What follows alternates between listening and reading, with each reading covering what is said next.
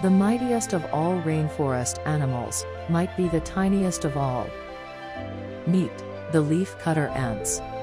Capable of carrying eight times their own weight, for up to 600 feet, the leafcutters are heavy lifters. But, there's more to these tiny insects.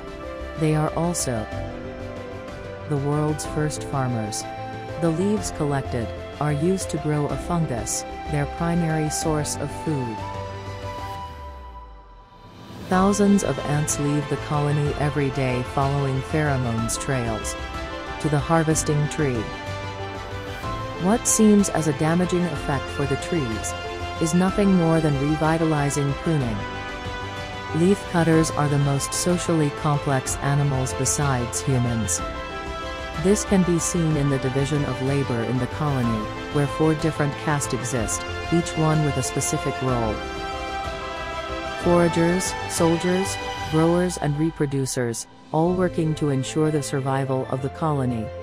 Despite their size, leafcutter ants are one of the most important ecosystem engineers of the tropical rainforest.